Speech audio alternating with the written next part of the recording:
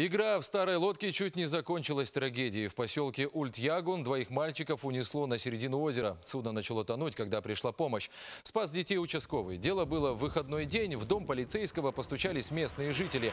Они рассказали Александру Праведникову, что двое детей отплыли на лодке от берега и сейчас зовут на помощь. Когда полицейский прибыл на место, лодка была так далеко от берега, что невозможно было разглядеть, кто в ней. С односельчанином Александр Праведников отправился за детьми на моторной лодке. Оказалось, что судно, на котором были дети, уже накренилось и внутрь поступала вода.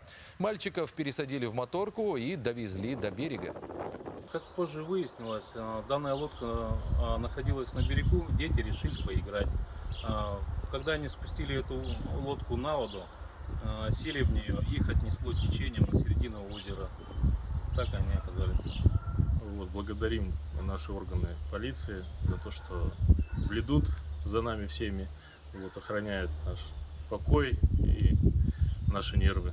Вот, дети впечатления, вот, моряками побыли. Вот, спасибо большое.